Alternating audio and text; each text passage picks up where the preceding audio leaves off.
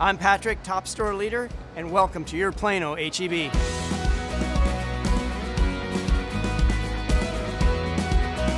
For 117 years, HEB's been serving Texas. It's been our absolute pleasure. We come in with a grocery store, but we're here to change your community.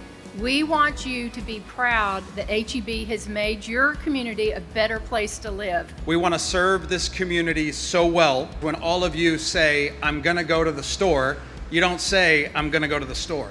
You say, I'm going to go to my HEB. I welcome everybody, uh, not just the Plano community, but throughout Dallas to come and experience the hospitality that they're going to get when they come inside this store. We are humbled by the Texas sized welcome we are receiving from the Frisco and Plano communities and grateful for the enthusiasm so many new customers are showing to our partner teams who are working very hard to meet and serve their shopping needs. We're also going to have the largest international wine selection we've ever put inside of an HEB. That is going to be great for these customers and they're going to love it.